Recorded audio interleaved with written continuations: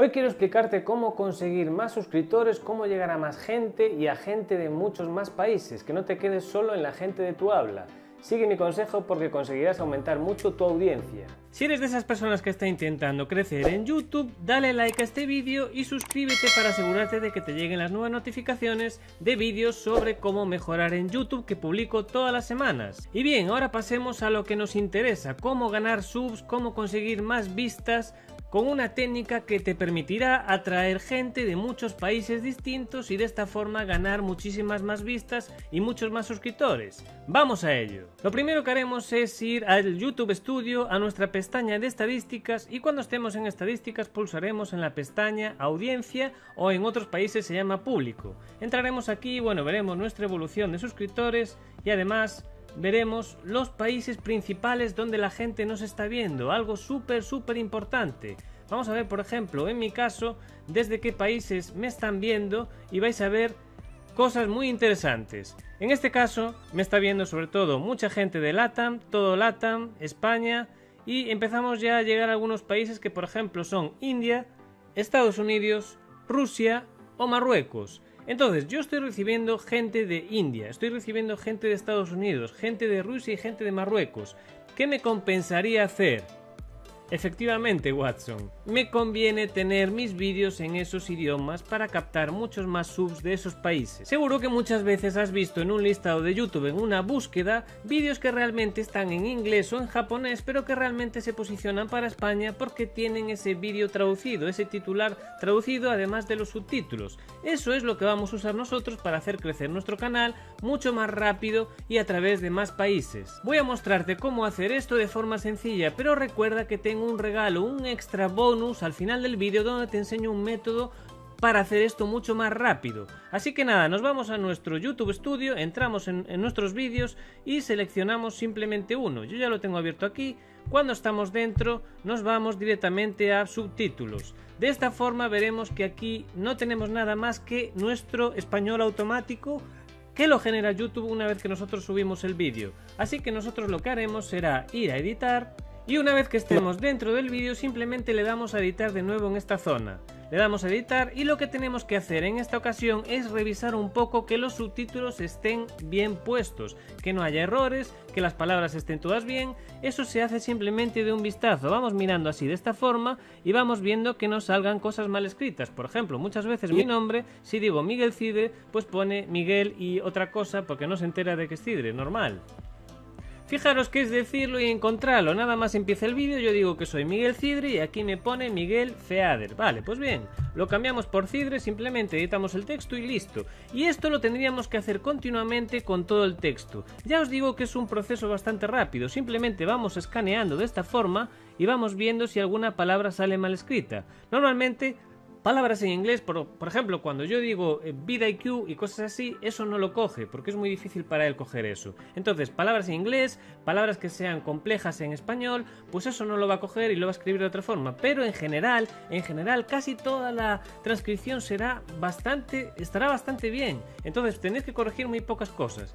Entonces, primero vamos a corregir el nuestro idioma, el español, para que luego cuando hagamos las traducciones esto salga correctamente. Una vez hayamos terminado de corregir nuestras transcripciones de YouTube, simplemente le damos a publicar cambios y esperamos a que recargue la página para empezar a introducir los nuevos idiomas. Ahora aquí tendremos la disponibilidad de ir introduciendo idiomas. Yo lo que hago es introducir los idiomas europeos más comunes para ver si intento coger un poco de tráfico de esos países. Así que me voy aquí, añadir nuevos subtítulos, por ejemplo pongo inglés, le doy a inglés y va a recargar la página de nuevo y me va a permitir poner nuevos subtítulos, pero esta vez en inglés. Fíjate, le damos aquí a crear subtítulos, le damos a crear subtítulos y ahora nos cargará de nuevo las transcripciones en español, pero además nos permitirá traducir desde aquí directamente al inglés. Como ya tenemos el español corregido, lo va a traducir muy muy bien, lo vas a ver ahora. Traducir automáticamente, le damos y directamente van a aparecer abajo todas las cadenas de texto en inglés. Impresionante. Le damos a publicar y ya tendríamos este idioma guardado. Lo vamos a ver ahora cómo sale.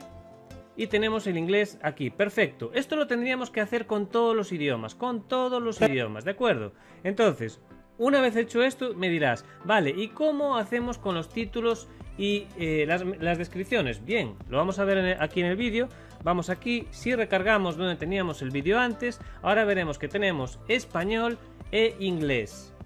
Aquí lo tenemos, inglés. Pues simplemente tenemos que ir aquí, título y descripción, añadir y aquí si tenemos instalado VidIQ o TabeBuddy, lo que haremos es pulsar en el botón que tienen ellos o si no, ir a un traductor y hacerlo desde el traductor si tenéis emojis, sobre todo en los títulos, tened cuidado porque os lo va a hacer mal, ¿de acuerdo? Entonces tened cuidado porque aquí me estaba metiendo unos caracteres aquí al principio. Entonces, ahora, aquí lo tengo. How to position a video in YouTube en 2020. ¿De acuerdo? Y abajo, como veis, pues también sale bien traducido. Simplemente tened cuidado con los títulos si tienen algún tipo de emoji que os pueda perjudicar al hacer el translate. Y si no, cogéis la cadena de texto original, vais a un traductor, cualquiera, a Google mismamente, y lo traducís y simplemente aquí le damos a publicar y ya tendríamos el inglés metido con el título, con la descripción y los subtítulos.